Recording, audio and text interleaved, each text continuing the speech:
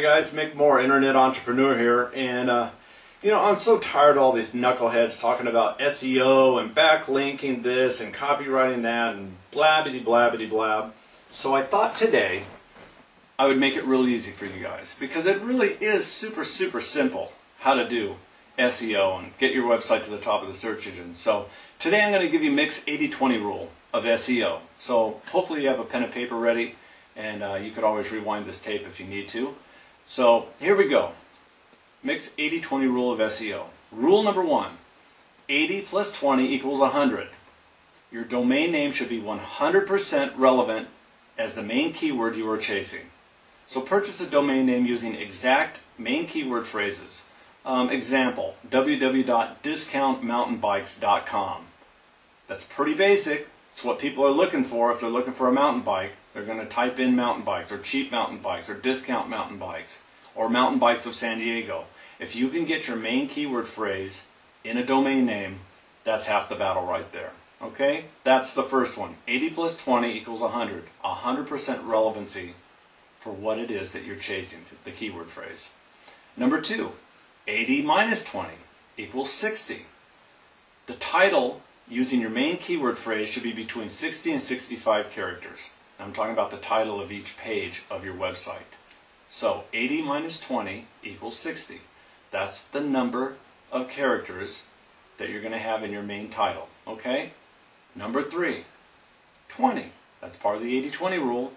20 is the total amount of keywords that you should have on any given page for your website. 20 or less, that's my rule. Start with your main keyword or keyword phrase first and go from there. Number four, 20 plus 0 equals 200. Now I know it doesn't really equal 200, but 20 with a 0 after it is 200. This is the way I remember it. So 200 is the description should be 200 characters or less, including spaces. Start off your description with your main keyword phrase. Pretty simple. Number five is page content. A minimum of 500 words on a page is what Google's looking for to really look for some good content. So incorporate your main keyword phrase at the beginning of the opening sentence. Number six, I want you to hyperlink that main keyword phrase to an internal page, maybe an About Us page or a Services page that mentions that same keyword phrase. Or, here's a trick I use, hyperlink it back to your main homepage because they're talking about that main keyword phrase anyway. Does that make sense? If it doesn't, rewind this and listen to it again. It's very, very simple. We're just hyperlinking the main keyword phrase back to itself or another page within the website that talks about this main keyword phrase. Number seven, link your main keyword phrase in all internal pages to other internal pages throughout the site that has this same keyword phrase on the page. All right? Number eight, repeat the keyword phrase two to three times for every 100 words. This is most important in the top one third of your page. This will equate to a keyword density of 3%. If you've got your keyword phrase or a keyword, let's say mountain bike, that's a keyword phrase, there's two of them. Mountain bike shows up three times for every 100 words in a paragraph or two paragraphs, that's a keyword density of 3%. Pretty simple. Number nine, end the last sentence of your page copy with that same main keyword phrase that you started that phrase copy. Remember at the very beginning we were saying the very first keyword phrase starts off the very first sentence of the first paragraph. At the very end of all that copy on the page, end with that same keyword phrase. This will give you another notch with Google. Uh, number 10, add main keyword phrase to all alt tags of your images on the page. Don't call it German Shepherd or you know bicycle. Say what it is. Discount mountain bike .jpg, discount mountain bike climbing.jpg, red discount mountain bike.jpg, blue mountain bike.jpg. You know what I mean? Have your keyword phrase in every one of your alt tags, and I also name my image files of what they are instead of just you know 01268.jpg.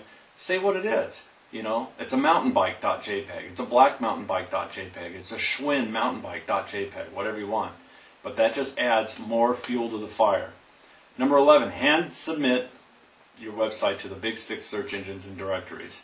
Um, I use special software for doing it, but I also hand submit to the big six, and then all the other 1,400 search engines that I submit to, I use software to do it. Um, feel free to contact me. I'll share with you what I use, and you can use it on your own.